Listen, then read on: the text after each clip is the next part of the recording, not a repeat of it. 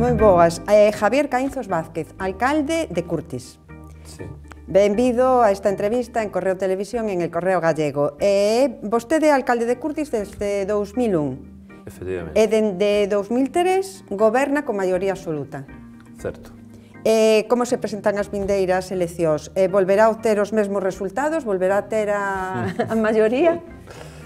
Pois eh, afronta a nova cita electoral con ilusións renovadas, eh, con moitas ganas de seguir traballando, eh, con máis ganas que nunca, quizás, porque o proxecto que iniciamos na andadura política nosa, gracias tamén, e debo recordar, o equipo de goberno que me acompañou ao longo de cada unha das, das etapas nas cales fun nos mandatos no, nos que estiven a través da, das urnas, que de agradecer ese apoio, esa colaboración eh, e ser capaces de liderar un proxecto que nos levou a donde estamos hoxe, que somos punteiros en moitas materias, pero sobre todo nunha, que na vertebración territorial do Concello e na dinamización do sector primario eh, que de unha forma directa ou indirecta vai a ser eh, moi referencial eh, nos próximos anos en todo Galicia os nosos proxectos. Tamén falaremos do, do Curtis do futuro, pero ahora vamos, vamos por partes e xa que falamos que a ver si, si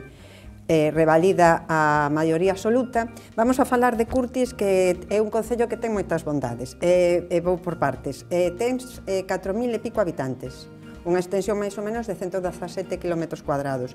Está ben ubicado, con boas comunicacións, e ten dous núcleos urbanos, non? Eh, que é Curtis e Teixeiro. Teixeiro é a capital. Sí. Eh, está dotado de moitos servicios e min chamou a atención que tanto en Curtis como en Teixeiro temos duplicados a administración Eso non sae moi caro. Pois non, non temos duplicada administración, non é así. Eh, temos eh, dúa, eh, temos tamén un servicio que non apuntaches, perdona que te corrixa, no, no, no, pero no, dispoñemos de dous aeroportos a 35 minutos do noso concello. A Bacolla e, eh, e, o, e, o, de, e o de Coruña. E Albedro. Coca, o Albedro. Cocal tamén nos sitúa no mapa e é fundamental para bueno, as conexións. que xa dixen que tiña que tiña boas comunicacións. Para as conexións. eh, No, non somos un concello eh, donde eh, temos dous povos eh, que no seu día pois había eh, bastante tensión entre eles e confrontación, localismos, eh, e conseguimos convertilos en dous povos con un só corazón. Dous povos cun só corazón traballando eh, en base á creación e, e dar resposta aos servicios básicos que podía necesitar a poboación que precisaba a poboación e ir da man e atender as prioridades en función de donde se requerían. E gracias a, a eso englobamos e integramos tamén as catro parroquias rurales que temos e en colaboración co sector agrogandeiro e o sector primario que representa o 49% da nosa poboación eh, conseguimos xerar ilusión e levar a cabo proxectos pilotos que son vitales para revitalización do, do, do sector primario. Non?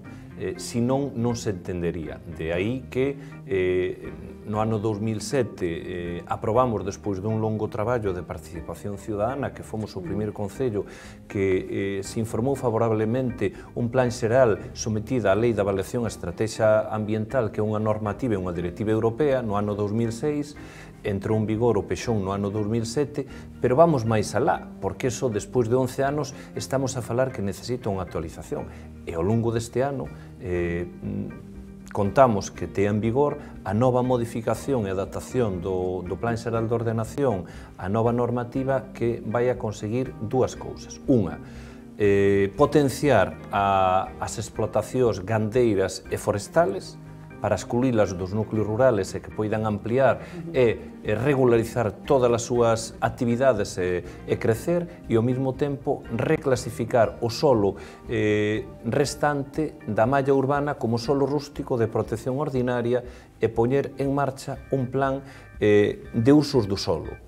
Non queremos que haxa terreno improductivo e queremos revitalizalo a través dunha ordenación territorial pioneira para que non ter eh, non só terreno improductivo, senón que xerar eh, o solo necesario para a base territorial para as explotacións gandeiras e que teñan o crecemento necesario para unha produción eh, láctea eh, de calidade e eh, cantidade, pero sobre todo calidade, e reordenar aquelas outras zonas que se adiquen a, a ámbitos forestales ou a mallas forestales para que non supoñan risco de cara aos incendios nin de cara a ningún vivenda. Eh, de, en esta reestructuración do, do solo tamén está a concentración parcelaria. Creo que xa fixeron en algúns, en algúnas parroquias ou en algúns sitios xa teñen feito Como vai a concentración parcelaria? Hai unha, hai unha zona, unha área importante de case 40 km cuadrados que corresponde ca parroquia de Fisteus, donde ao longo deste ano estará prácticamente rematada eh, esa concentración parcelaria, donde eh, se vai máis alá e donde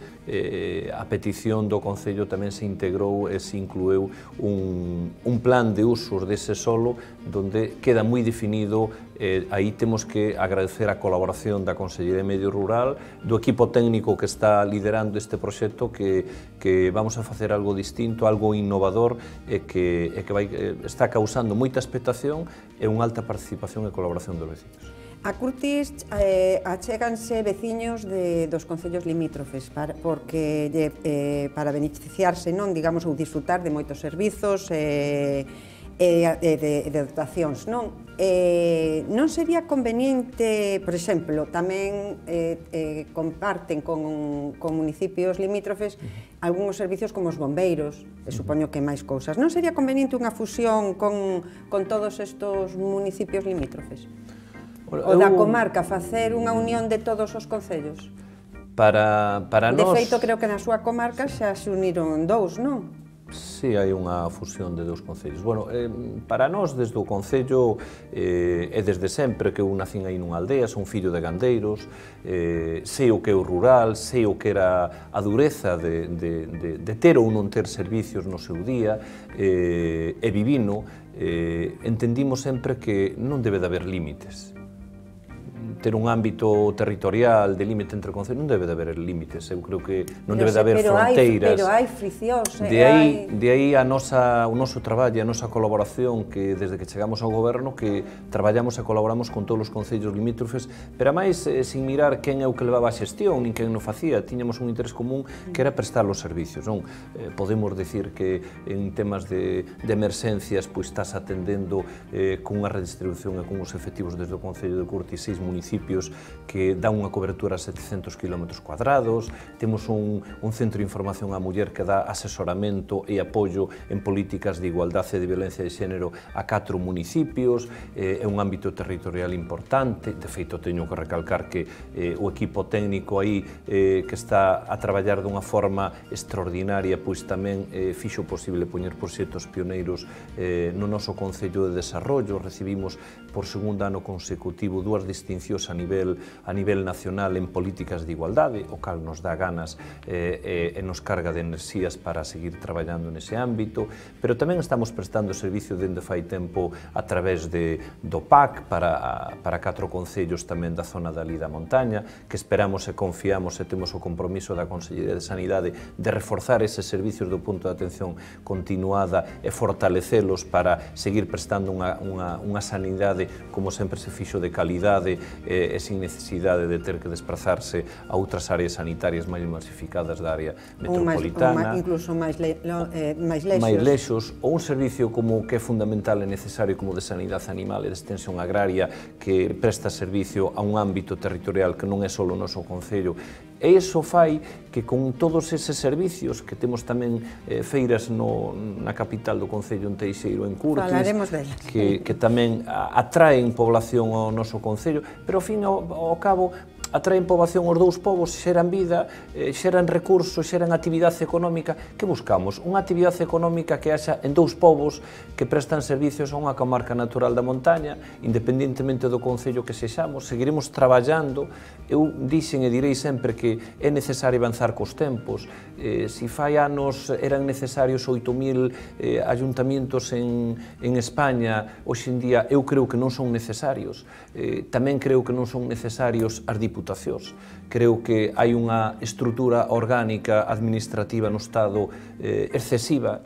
Eh, creo que eses esforzos, ese, ese, eh, ese capital humano hai que redistribuílo e reordenalo porque todo é necesario e, e ao mesmo tempo temos que aproveitar as potencialidades económicas das administracións para adicalas aos sectores fundamentales de vertebración, o sector primario, o sector sanitario, o sector educativo. Aí é onde temos que eh, sumar esforzos Eu dixeno e digo sempre, creo que eh, nunha administración, nunha estrutura orgánica, se si temos unha administración, é o día Constitución, se si temos unha administración estatal, temos unha administración autonómica eh, e temos unha administración local que se vertebre a estrutura territorial sobre esos eixes. Eh, se si temos unha comunidade autónoma, que comunidades autónomas que son as representativas ou, ou representantes do, do da administración estatal, para que queremos ter unha delegación do goberno, unha subdelegación?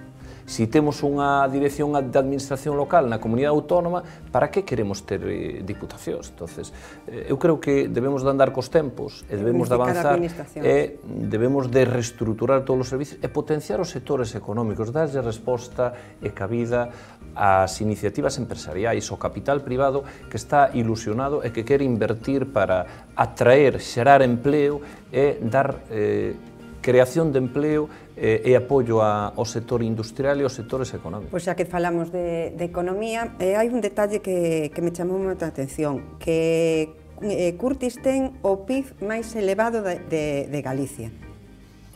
Eh, pero vamos, vamos si, sí, chamoume, creo que, que, que é bastante importante non a, o poder adquisitivo dos seus, dos seus veciños.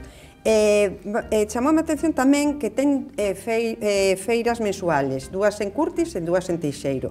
Eh, co como consiguen continuar con esta tradición? Porque en casi todos os povos había feiras eh, tamén así dúas veces o ano, o mes ou, ou tres. Ahora quedan en moitos... Mm, unha vez o ano, bueno, Padrón, por exemplo, que é un concello cerca de Quisi, que ten tamén unha, unha a semana, pero son moi poquiños. Como Como fan para continuar con elas? Bueno, eu creo que o acaba, o acaba de expoñer usted. Eh, é posible manter a traición ca innovación e cos tempos de hoxendía. día. Nos tiñemos unhas grandes feiras eh, nos dous povos donde se comercializaba de todo, ganado, produtos de alimentación, roupa... Claro, chamame a atención todo. porque hoxe tamén, e tamén podemos decir de Curtis, o comercio, o, comercio, o pequeno comercio uh -huh. da, das vilas eh, están surtidos, é dicir, non era como antes que, que ibas á feira para comprar aquelas cousas que non tiñas no uh -huh. pobo normalmente, non? Oxe, o sector, o sector comercial sí. nas dúas vilas é, é amplo, non? É amplio e dá esa cobertura, pero tamén eh, demostranos que o funcionamento das feiras pois que tamén é atractivo atractivo é que poden convivir o, o comercio local cas feiras, as mesmas feiras tamén atraen xente para que ao final acaban comprando nos comercios, non? Entón, que fixemos? Pois moi sinxelo. Eh, habilitaron os espacios en uns lugares, nos dous sitios adecuados e óptimos para eles, regularizalos a través dunha ordenanza municipal, eh, cobrar unha taxa e asignar uns postos a cada un de, dos vendedores que veñen a esa feira, redistribuílos en función dos sectores que comercializan e dentro desa reestruturación total que fixemos eh, ser apoyalos, colaborar con eles e promocionar esas feiras. De feito, oye, o, o, o mercado feira é donde basicamente eh, está centrada na Plaza de España en Teixeiro eh, con un mercadillo e con produtos de alimentación que se comercializan, pois pues fan un día atractible e organizan ali atractivo no centro do povo que é un día diferencial, un día distinto, non? Uh -huh. en, fe, en Curtis conseguimos crear dentro dun ámbito de 25.000 metros cuadrados eh, un recinto feiral onde se comercializa gando, porcino, vacuno, equino, e tamén donde se expoñen produtos de artesanía, donde creamos unha,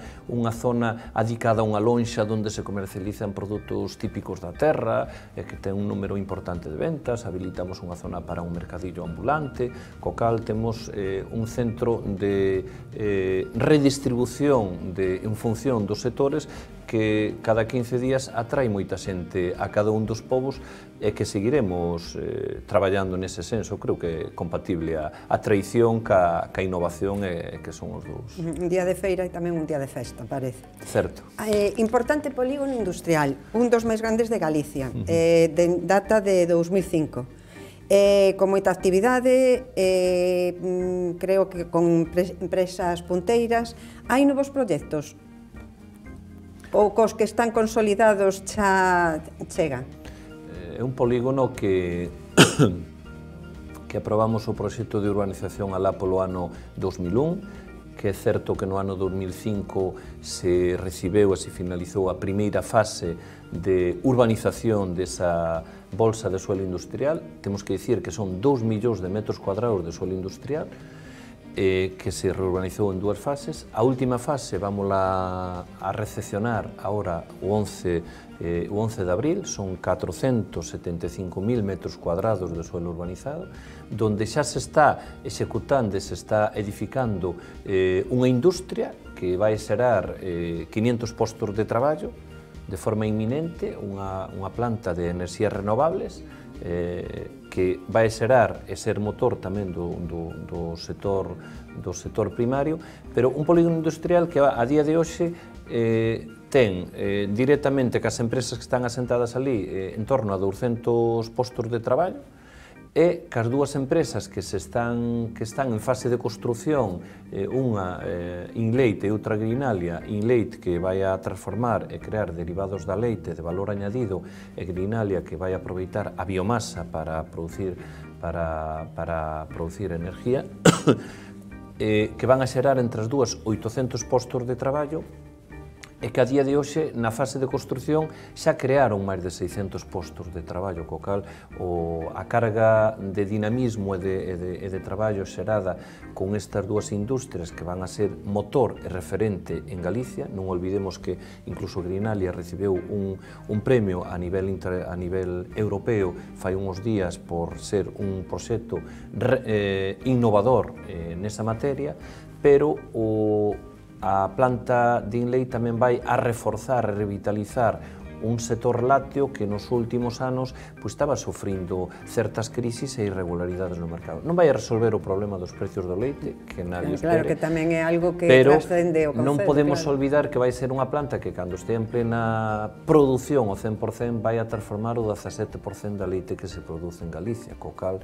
representa eh, unha demanda importante. Que hai no noso polígono? Pois a maiores deso temos catro industrias grandes que están en fase de ampliación, que van a xerar máis empleo, unha planta de prefabricados, unha planta de máis de máis I, unha planta de logística e, e, e outra e, planta vinculada tamén co sector primario que é de produción e fabricación de maquinaria agrícola e forestal.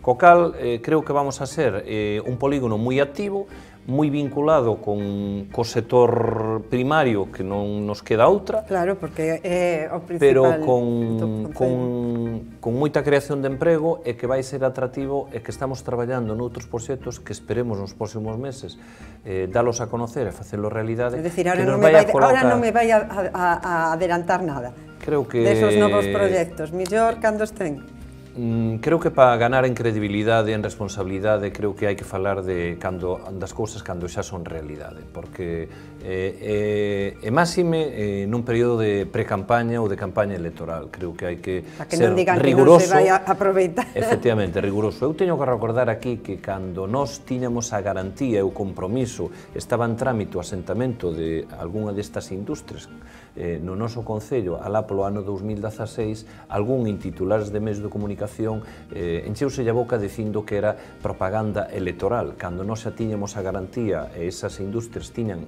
estaban no trámite de adquisición dese suelo que unha adquireu 100.000 metros cuadrados e outra 86.000 metros cuadrados, non creo que nadie compre unha dimensión dese terreno solo polo feito de comprar. Creo que se fai unha inversión desas características e palgo máis. Vale. Pero falando de áreas industriales, que me vai dicir que vou ser un pouco pesado, non quero deixar pasar por alto que tamén fomos capaces ca reordenación territorial de xerar ese polido industrial, tamén de darlle resposta a outra industria que estaba asentada dentro do ano 66 no noso municipio, Industria Losán, que, que ten eh, redistribuída unha serie de empresas ao longo do territorio internacional e que dá eh, traballo a moita xente de, do noso concello, nela incluso foi eh, donde naceu a industria, e en, non torno dela xeramos unha bolsa de suelo de 123.000 123 eh, metros cuadrados de suelo industrial a través dun pequeno parque industrial que vai xerar que eh, poida ampliar, vai na ampliar e vai xerar, vai crear postos de traballo, está, traba, está vai desarrollar ese a través dun plan parcial ese solo industrial xerando empleo, ampliando a industria, máis xerando máis solo para pequenas iniciativas industriales que se poidan asentar. Quere dicir que tamén lle demos resposta ás empresas para que poidan crecer dentro dun marco legal urbanístico sen que tuveran que estar nunha situación eh, de dudas, de legalidade e darlle resposta a esas demandas. Facilitarlle, que é facilitarlle que se, que, que se asenten. Pois outro punto, mm, outro atractivo de Curtis é a, a natureza. Ademais, creo que están con, eh, intentando facer unha variante do Camiño do Norte, do Camiño a Santiago, Camiño do Norte. Que é isto? Que, a ver se me pode explicar un pouco. Pois, eu pensaba que un tramo do camiño pasaba por, polo Concello, pero parece ser que non é así, pasa cerca e van facer unha variante. Conteme un pouco, dentro todo dun marco de protección e de, e de, de natureza. Bueno, nos no, no ano 2010 eh, entendíamos que que debíamos avanzar máis no, no eido cultural e natural. Non? De feito, se o noso cabalo de batalla era o medio ambiente e era a natureza, de feito, eh, eh, no noso Concello eh, discurre e pasa un dos ríos máis importantes de Galicia, o río Mandeu, pero tamén nace un dos ríos máis importantes, o Mendo. Co cal, dispoñendo deses recursos naturales e paisaxísticos, debíamos de potencialos. Que, que, que buscamos primeiro?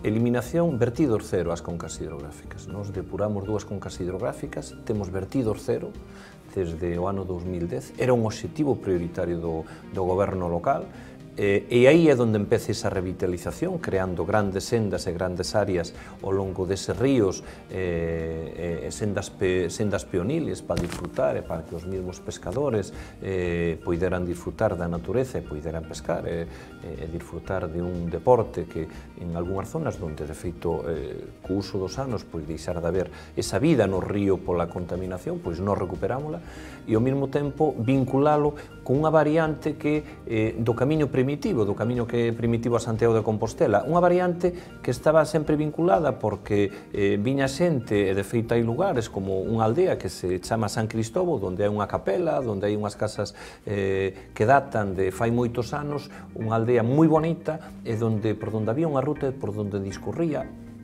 E dai va hasta Santalla, de Santalla. Non podemos olvidar que en Santalla naceu San Pedro de Mezonzo, no noso concello. Creo que non necesito eu recordar a figura de San Pedro de Mezonzo que non hai mellor embaixador para o concello de Curtis que esa figura, non?